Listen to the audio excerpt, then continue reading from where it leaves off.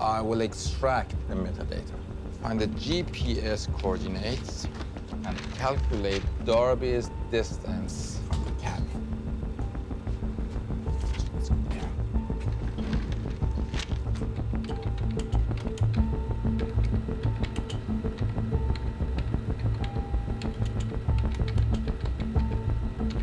When I press enter, the processor will run a series of calculations to determine his exact location in space-time.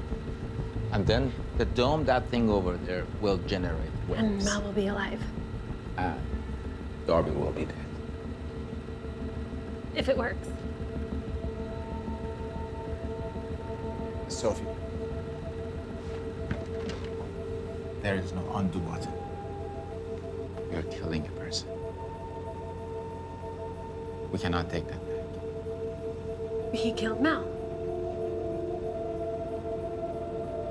Is there a problem? No. No, I just put so many years of my life into this machine, Okay. and now we're going to use it. And you never tested it. I never tested it because I didn't have to, but all my calculations show it will work.